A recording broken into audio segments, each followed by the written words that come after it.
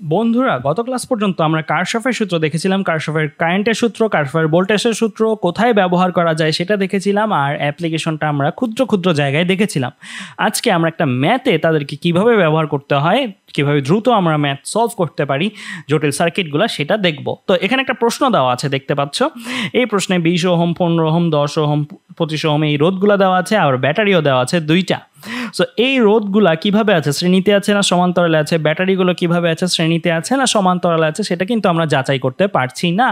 তার মানে এই যে এই সার্কিটটা এটা একটা জটিল সার্কিট হিসেবে আমরা বলতে পারি। তো এই যে এই সার্কিটটার রোধগুলোর মধ্যে প্রবাহ কত সেটা আমাদের কাছে জানতে চাওয়া হয়েছে। দ্যাট মিনস বিশ ওহমের মধ্যে দিয়ে কত প্রবাহ যাবে? পনেরো ওহম, দশ ওহম, পঁচিশ ওহম। এদের মধ্যে কত কত মানের প্রবাহ যাবে সেটা আমাদের কাছে জানতে চাওয়া হয়েছে। তো আমরা কীভাবে আসলে প্রবাহটা বের করব? সো আমাদের কাজটা আমরা ধারাবাহিকভাবে করব। প্রথম কাজ হবে কিনারের বিন্দুগুলোর পয়েন্টের নাম দেওয়া, যেটা আমাদের প্রশ্নে অলরেডি দেওয়া আছে। দ্যাট মিনস এটা আমাদের আর করতে হচ্ছে না। তারপরে কি? প্রবাহের দিকগুলো দিয়ে নিতে হয়। সো প্রবাহের দিকগুলো আমরা দিয়ে নিব। সো প্রবাহের দিক কি কি আছে? আমরা এই যে কোনো দিক থেকে দিতে পারি, আগেই দেখিয়েছি। সো আমি এখান থেকে প্রবাহের দিক যদি ধরে নিই আই ওয়ান প্রবাহটা এদিক দিয়ে যাচ্ছে। আই ওয়ান প্রবাহটা দুই ভাগে ভাগ হবে, এখানে রাস্তা আলাদা হয়েছে, তাই।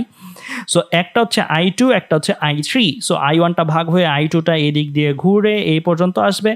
আই থ্রিটা এদিক দিয়ে নেমে এই পর্যন্ত আসবে। আই থ্রি আর আই টু ফ্লোটা একত্রিত হয়ে আবার এদিকে কি গঠন করবে? আই ওয়ান গঠন করবে। দ্যাট মিনস আমি এই দুই জায়গাতেই আঁকলেই ইনাফ সো আমরা রোদগুলাতে প্রবাহ যেই দিকগুলা, প্রবাহ যেগুলো হবে সেগুলো অলরেডি চলকটা ধরে ফেলেছি।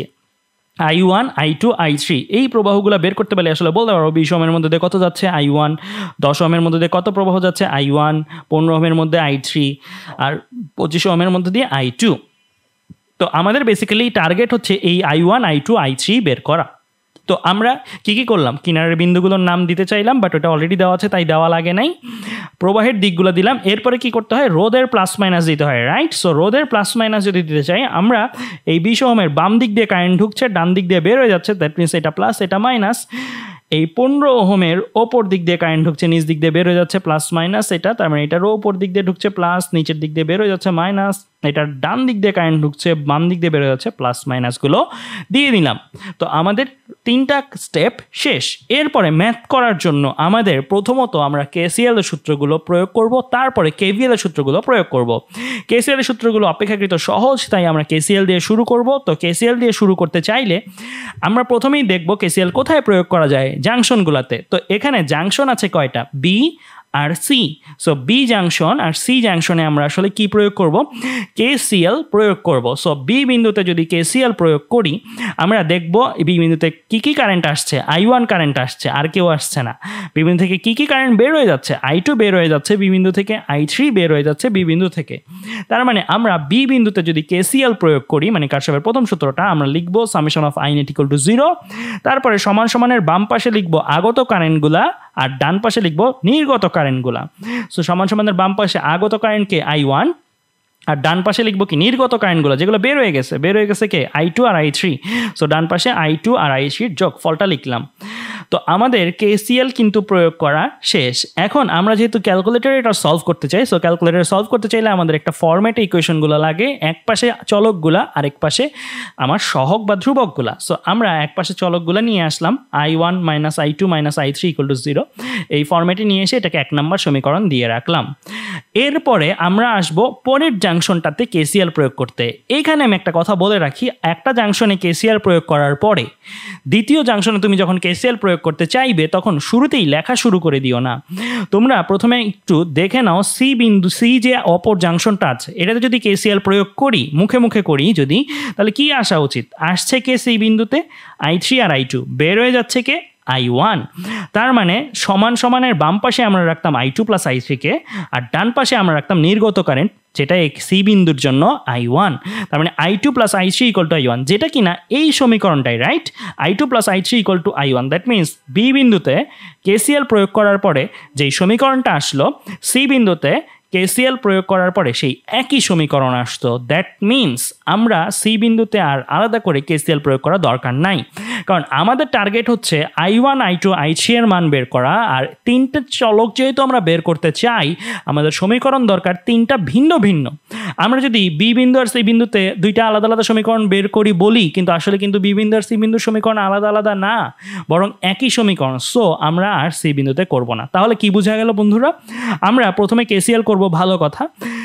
যতগুলো জাংশন আছে ততগুলোতে করার আগে প্রথমে একটা জাংশনের ক্ষেত্রে করব, পরের জাংশনটাতে লিখ কেসিএলটা লিখে ফেলার আগে একটু মুখে মুখে প্রয়োগ করে দেখব যে এইটা আসলে আগের জাংশনের কেসিএলের ফলাফলের সমান কিনা।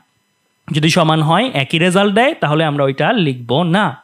তো বন্ধুরা, আমরা এখন চলে যাব কি কেভিএলে সো কেভিএল প্রয়োগ করা যাবে কয়বার? লুপগুলা কয়টা আছে এখানে? একটা, দুইটা তিনটা রাইট তিনটা লুপ আছে এখানে। সো তিনটা লুপ দ্যাট মিনস তিনবার আমি কেভিএল প্রয়োগ করতে পারব। বাট তিনবার কেভিএল প্রয়োগ করতে পারলেই কি আমি তিনবার কেভিএল প্রয়োগ এখানে করব?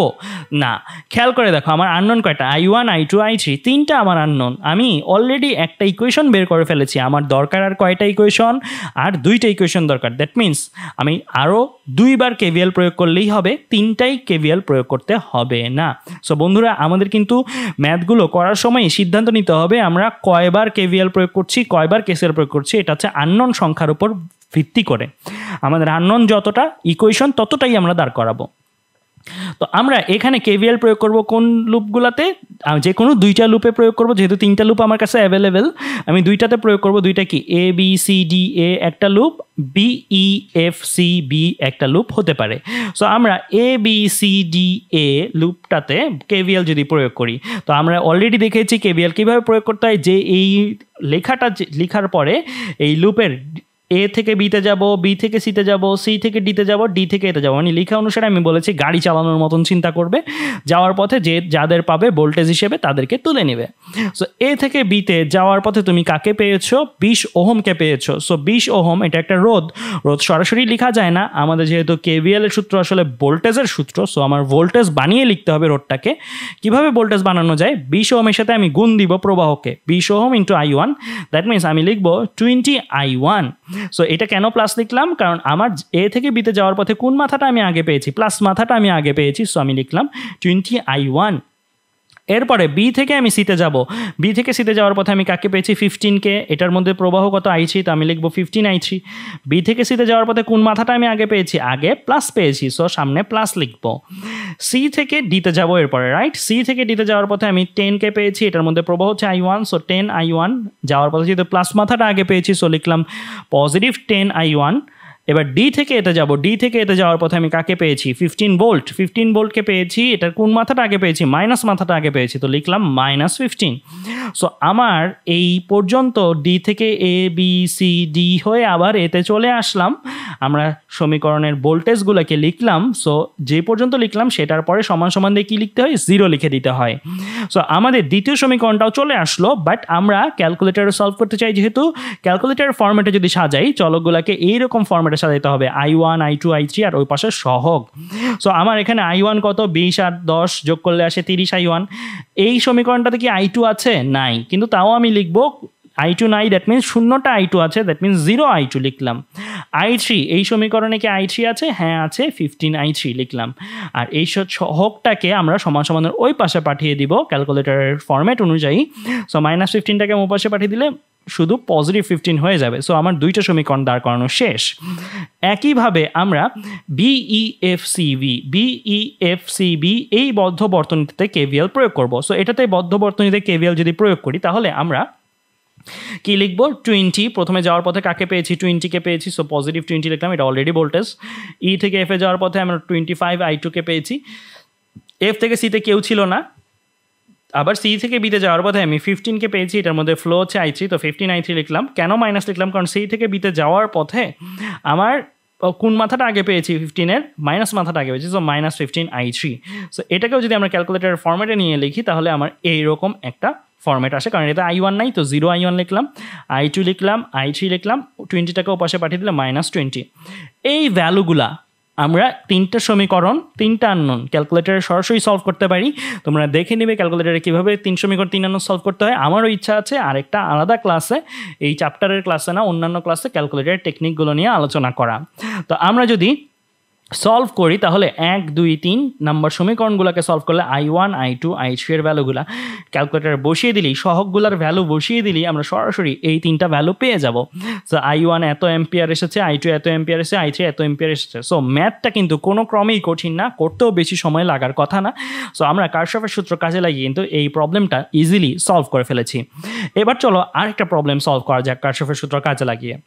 এখানে দেখো, দুই ভোল্ট তড়িৎচালক শক্তি এবং দুই ওহম অভ্যন্তরীণ রোধ বিশিষ্ট একটি কোষ সমান্তরাল সমবায়ে পাঁচ ওহম ও দশ ওহম রোধ বিশিষ্ট দুটি রোধের সাথে সংযুক্ত। কারশফের সূত্র প্রয়োগ করে কোষ দ্বারা প্রেরিত প্রবাহ মাত্রা ও প্রত্যেক রোধকের মাত্রা বের করতে বলা হয়েছে। দ্যাট মিন্স আমার এখানে প্রত্যেকটার মধ্যে দিয়ে প্রবাহ মাত্রা জানতে চাওয়া হয়েছে। সো আমাদের এখানে অলরেডি সার্কিটটা আঁকা আছে। এখান থেকে মূল প্রবাহ আই মানে আমি আই বের করব, আর রোধগুলোর মধ্যে দিয়ে প্রবাহ দ্যাট মিন্স আই ওয়ান আর আই টু বের করব। দ্যাট মিন্স এই প্রবাহটা আই বের করতে জানতে চাওয়া হয়েছে, আর আই ওয়ান আর আই টু জানতে চাওয়া হয়েছে। সো আমরা এটা কীভাবে সলভ করতে পারি? আমরা প্রথমত এইখানে কিনারের বিন্দুগুলোর নাম দিতে চাইছি, কিন্তু অলরেডি দেখছি দেওয়া আছে সো আমাদের এই কাজটা কমে গেল। এরপরে কি প্রবাহের দিকটা দেওয়ার কথা ছিল? প্রবাহের দিকও এখানে দেওয়া আছে, সেটাও আমার দেওয়া লাগল না। খেয়াল রাখবা বন্ধুরা, যদি এগুলোর একটাও না দেওয়া থাকতো নামগুলা দিয়ে নিজেদের দিয়ে নিতে হতো। প্রবাহর দিকটা যদি না দেওয়া থাকতো, প্রবাহর দিকটাও নিজের দিয়ে নিতে হতো। এরপরে রোদের প্লাস মাইনাস দেওয়ার ব্যাপারটা সো রোদের প্লাস মাইনাস দেওয়ার ব্যাপারটা যদি আমরা দিয়ে নিই সো এইটা হচ্ছে রোদের প্লাস মাথা, এটা রোদের মাইনাস মাথা এটা এই রোদের প্লাস মাথা এটা এই রোদের মাইনাস মাথা। এইখানে একটা জিনিস লক্ষণীয়, এই যে এই রোদটা এই রোদটাও কিন্তু কাউন্টে আসবে। এটা কিন্তু ব্যাটারির অভ্যন্তরীণ রোধ বাট এটাও তো একটা রোধ আছে। সো এই রোডটার ক্ষেত্রে প্লাস মাথা কোনটা হবে মাইনাস মাথা কোনটা হবে, এটা কিন্তু একটু বুঝতে হবে। সো এই রোডটার জন্য প্রবাহটা কি আমার এদিক দিয়ে আসছে? সো প্রবাহটা আমরা জানি যে এই দিক দিয়ে ঘুরে, এদিক দিয়ে এসে এদিক দিয়ে বের হয়ে যাচ্ছে। সো আমার এই রোডটার জন্য আলটিমেটলি প্লাস মাথাটা কোনটা হবে? প্লাস মাথাটা হবে আমার রোদ যে এদিক দিয়ে আসছে, এইটা, আর মাইনাস মাথাটা কোনটা হবে? মাইনাস মাথা হবে এইটা। সো এখানে কিন্তু খেয়াল রাখা জরুরি ব্যাটারি প্লাস কোনটা? ব্যাটারি হচ্ছে ব্যাটারি প্লাস আমি ব্যাটারি প্লাসটাকে ভিন্ন কালার দিয়ে দেই গ্রিন কালার দিয়ে দিই। এটা হচ্ছে ব্যাটারি প্লাস একটু মুছে দেই আমি এটা। সো ব্যাটারি প্লাসটা আর রোধের প্লাসটা যে একই রকম হবে তা কিন্তু না। সো এটা হচ্ছে ব্যাটারি প্লাস ব্যাটারির মাইনাস আর ব্লু কালার দিয়ে যেটা আমি এঁকেছি একই জায়গায়, সেটা কিন্তু আমার রোধের, অভ্যন্তরীণ রোধের প্লাস কারণ কারেন্ট এদিক দিয়ে ঢুকছে সো এটা রোধের জন্য প্লাস আর কারেন্ট এদিক দিয়ে বেরো যাচ্ছে, তার মানে এটা রোদের জন্য মাইনাস সো এখানে কিন্তু খেয়াল রাখা জরুরি, অভ্যন্তরীণ রোদ থাকলে কিন্তু আমাদের এই জিনিসটা একটু ভালো করে মাথায় রাখতে হবে। এখানে কিন্তু একটা ব্যাটারিও আছে, আবার একটা রোধও আছে, কারণ অভ্যন্তরীণ রোদ দেওয়া আছে যেহেতু। আগেরগুলোতে অভ্যন্তরীণ রোধ দেওয়া ছিল না দ্যাট মিনস জিরো ছিল, আর এটাতে দেওয়া আছে। তো এটা প্লাস এটা মাইনাস যাই হোক, তো আমরা এখন কাজ শুরু করতে পারি। আমাদের প্রথম কাজ হবে কি? কেসিএল প্রয়োগ করা রাইট কেসিএল প্রয়োগ করা কেসিআর আমি কোড প্রয়োগ করতে পারব কোন জায়গায়? ডি বিন্দুতে আর এইচ বিন্দুতে, কারণ এইটা আর এটা হচ্ছে আমার এই সার্কিটের জন্য জাংশন আর কোনো জাংশন আছে? নাই কিন্তু। দুইটা জাংশন আছে। সো ডি বিন্দুতে আমি যদি কেসিএল প্রয়োগ করি বা কার্শফের প্রথম সূত্র প্রয়োগ করি আমি লিখব summation of I net equal to zero summation of I net equal to zero যদি লিখি, তাহলে এখান থেকে আমরা লিখতে পারি, আসছে কি ডি বিন্দুতে? আই বের হয়ে যাচ্ছে কি? আই ওয়ান আর আই টু সো আমি লিখব I equal to I one plus I two আমি সবগুলোকে এক পাশে নিয়ে নিলে আমরা কি পাই? সবগুলোকে এক পাশে নিয়ে নিলে আমরা পাই I minus I one minus I two equal to zero so আমরা আগেরটার মতনই ডি বিন্দুতে কারশফের প্রথম সূত্র প্রয়োগ করলাম। আর প্রয়োগ করা যায় কোথায়? আর প্রয়োগ করা যায় এইচ বিন্দুতে। সো এইচ বিন্দুতে যদি প্রয়োগ করি, একটু চিন্তা করে দেখো তো বন্ধুরা এইচ বিন্দুতে কী হবে? আই ওয়ানটাই তো এদিক দিয়ে আসবে আই টুটাই তো এদিক দিয়ে আসবে। আই ওয়ান আর আই টু এদিক দিয়ে এসে আবার আই হয়েই তো এদিক দিয়ে গমন করবে। সো এখানে আসলে আসছে কে কে? আই ওয়ান আর আই টু আর বের হয়ে যাচ্ছে কে? বের হয়ে যাচ্ছে আই সো আমি সমান সমানের বাম পাশে লিখব আই বাম পাশে লিখব I one plus I two আর ডান পাশে লিখব আই দ্যাট মিন্স আমার কিন্তু এই বিন্দুতে কারশফের প্রথম সূত্র প্রয়োগ করলেও এই রেজাল্টটাই আসবে। তাহলে এই রেজাল্টটাই যদি আসে, তাহলে আমি আবার নতুন করে প্রয়োগ করা দরকার নাই। তো আমাদের কিন্তু কারশফের প্রথম সূত্র আমরা একবারই ব্যবহার করতে পারছি, ডি বিন্দুতে, এইচ বিন্দুতে প্রয়োগ করলেও একই রেজাল্ট আসতো, সো আমরা নতুন করে প্রয়োগ করছি না। এবার আমরা চলে আসি, এরপরে আমরা কেভিএল প্রয়োগ করব। সো কেভিএলটা প্রয়োগ করাটা আমরা একটা লুপ, এখানে লুপ আছে কয়টা? একটু বলে রাখি, এখানে লুপ কিন্তু তিনটা। এইটুকু একটা লুপ আবার এখান থেকে ধরে উপরের পার্টটা দিয়ে গেলে এইটা একটা লুপ আবার এইখান থেকে ধরে নিচের পার্টটা দিয়ে গেলে এইটা আরেকটা লুপ দ্যাট মিনস এখানে লুপ কিন্তু তিনটা। এটা কিন্তু খেলা রাখবে বন্ধুরা। উপর দিক দিয়ে গেলে একরকম লুপ নিচের দিক দিয়ে গেলে আরেক রকমের লুপ সো আমরা প্রথমত কে A C D E G H J K নামটা বড় মনে হলো জিনিসটা কিন্তু বড় না।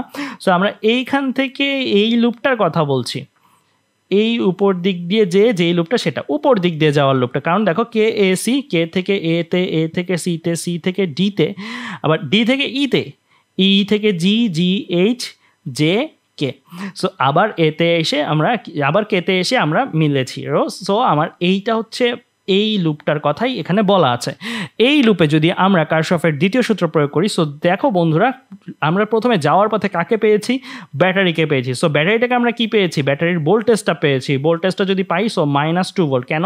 কারণ যাওয়ার পথে ব্যাটারির জন্য মাইনাস কি? এটা সো আমরা যাওয়ার পথে কোনটাকে পেয়েছি? ব্যাটারির মাইনাসটাকে পেয়েছি। সো টু লিখলাম, সামনে একটা মাইনাস দিলাম। কারণ টু ভোল্টেজের ব্যাটারির ভোল্টেজটা যেটা, সেটা মাইনাস মাথাটাকে আমরা আগে পেয়েছি।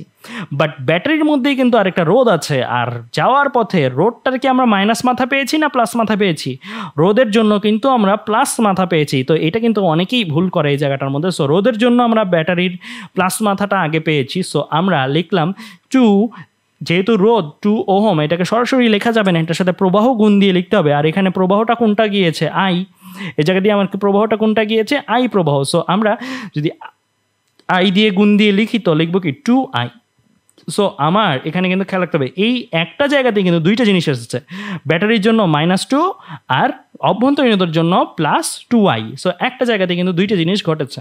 সো এই জায়গাটা কিন্তু অনেকেই ভুল করে। অভ্যন্তরীণ রোধ থাকলে কিন্তু কার্সফের দ্বিতীয় সূত্র অনেকেই প্রয়োগ করতে ভুল করে ফেলে। তো আমরা কি এ থেকে এ পর্যন্ত গেলাম? এরপর কোথাতে যেতে হবে, এ থেকে সিতে এ থেকে সিতে যাওয়ার পথে কেউ নাই। সি থেকে ডিতে যেতে হবে, সি থেকে ডিতে যাওয়ার পথে কেউ নেই। অনেকেই আরেকটা ভুল করে, প্রবাহকে লিখে ফেলে। প্রবাহকে লিখা যাবে না। শুধু বোল্টাস লিখতে হবে। রোদ যদি পাই রোদকে বোল্টাস বানিয়ে লিখতে হবে। সো কে থেকে এতে গেলাম? ব্যাটারিকে পেয়েছি, অভ্যন্তরীণকে পেয়েছি, দুইটা টার্ম এসেছে। এ থেকে সিতে কেউ ছিল না সি থেকে ডিতে কেউ ছিল না। প্রবাহ থাকলেও কিন্তু সেটা কাউন্টে আসবে না, যদি রোদ না থাকে। সো ডি থেকে এবার আমরা ইতে যাব, এখানেও কেউ নাই। ই থেকে জিতে যাব, এখানে একটা রোদ আছে, পাঁচ ওহম। সো আমরা পাঁচ ওহমের প্লাস মাথাটা আগে পেয়েছি, আর পাঁচ ওহমের সাথে প্রবাহ কত? I one so five I one positive লিখলাম। সো এগুলো লিখার পরে আমরা ক্যালকুলেটারে বসানোর জন্য আমরা চলকগুলোকে serially সাজালাম। I I one I two so I আমার কত আছে? টু আই আর আই ওয়ান আমার কত আছে? আমার আই ওয়ান আছে ফাইভ আই ওয়ান আর সমান সমানের ওপাশে আমার কি? এই মাইনাস টুটা যদি ওপাশে চলে যায়, তাহলে হয়ে যাবে প্লাস টু তো আমরা শখটাকে ওপাশে পাঠিয়ে দিলাম। সো এই সমীকরণটা যারা বুঝতে পেরেছ, তাদের কেভিএল পুরোপুরি ক্লিয়ার হয়ে যাওয়ার কথা। এরপরে আমাদের আরেকটা লুপে প্রয়োগ করব। এখন আমরা ছোট লুপটাতে প্রয়োগ করছি E G H I F D E so এই লুপটাতে আমরা প্রয়োগ করছি। সো ই থেকে জিতে যাওয়ার পথে আমরা পেলাম ফাইভকে সো আমরা লিখব কি ফাইভ আই ওয়ান পজিটিভটা আগে পেয়েছি ই থেকে জিতে যাওয়ার পথে। জি থেকে এইচে কেউ নাই এইচ থেকে আইতে কেউ নাই। আই থেকে যেতে যাওয়া আই থেকে এফে যাওয়ার পথে আমরা পেয়েছি দশ ওহমকে। দশ ওহমের মধ্যে প্রবাহটা কত? আই টু সো আমরা লিখব টেন আই টু কিন্তু আমরা আই থেকে এফে যেহেতু গিয়েছি যে লেখা অনুসারে আই থেকে এফে গিয়েছে যেহেতু সো মাইনাস মাথাটা আগে পেয়েছি সো আমরা লিখব minus ten I two so আমরা আই থেকে এফে গেলাম, এরপরে আসব কি, এফ থেকে আবার ডিতে কেউ নাই ডি থেকে আবার ইতে কেউ নাই সো আমার এই পর্যন্তই লিখে ইকুয়াল টু দিয়ে জিরো দিব। সো এবার সমান সমান দিলে আমার কি চলে আসবে, একটা সমীকরণ চলে আসবে। তো এই যে সমীকরণটা আসলো, এই সমীকরণটাও আমরা ক্যালকুলেটারে করার জন্য I I one I two এই ফর্মেটে লিখলাম। So I I one I two এই ফর্মেটে লেখা হলে আমরা ক্যালকুলেটার এখন সলভে দিয়ে দিব। ক্যালকুলেটারে আমরা সলভ করলে তিন সমীকরণ তিন আনের যে সলভটা সেই সলভটা করে ফেললে আমরা পেয়ে যাব। আই ওয়ানের ভ্যালু আসলো point two five ampere I two এর ভ্যালু আসলো point one two five ampere I এর ভ্যালু আসলো point three seven five ampere তো এখানে একটা জিনিস একটু বলে রাখি বন্ধুরা সো আমাদের আগের ম্যাটটা একটু খেয়াল করো। আগের ম্যাটটার মধ্যে কি হয়েছিল? আমাদের একটা রেজাল্ট মাইনাস এসেছিল। মাইনাস যদি আসে, এটা আসলে কিছুই করতে হবে না। এই পর্যন্তই রেখে দিলেই তুমি না ফুল নাম্বার পেয়ে যাবে। বাট মাইনাসটার মিনিংটা কি? মাইনাসটার মিনিংটা হচ্ছে, আমরা তো এই প্রভাবটা নিজের মতন করে ধরে নিয়েছি। সো নিজের মতন করে যে ধরে নিয়েছি, ধরে নেওয়াতে ভুল থাকতে পারে অবশ্যই। সো এই আই টুটা মাইনাস আসছে মিনস হোয়াট মিনস যে, আমরা আই টুটাকে এই দিকে, ডান দিক দিয়ে যে, নিচের দিক দিয়ে নেমে বাম দিকে যাওয়া ধরেছি। মানে ক্লক ওয়াইজ ধরেছি। আর আসলে এইটা মাইনাস আসার অর্থ হচ্ছে, এটা এন্টি ক্লক ওয়াইজ হবে। দ্যাট মিনস এই অ্যারোটা আসলে ডান দিকে না উল্টাই দিলে যেটা হবে এটা আসলে বাম দিকে না, উল্টায় দিলে যেটা হবে, সেই দিক অনুসারেই হবে। ভ্যালুটা থ্রি বাই সেভেন এম্পিয়ার ঠিক আছে? বাট মাইনাসটা ইন্ডিকেট করছে আমার এই ডিরেকশনটা আলটিমেটলি কি?